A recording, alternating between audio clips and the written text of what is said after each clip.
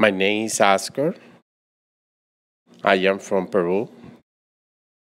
I give time for good health, life, and my family.